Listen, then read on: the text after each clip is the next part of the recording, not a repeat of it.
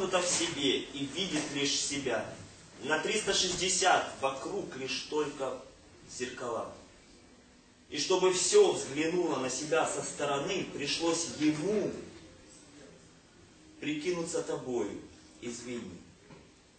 И так или иначе, но настает той день, в который каждый узнает во всем свою же тень.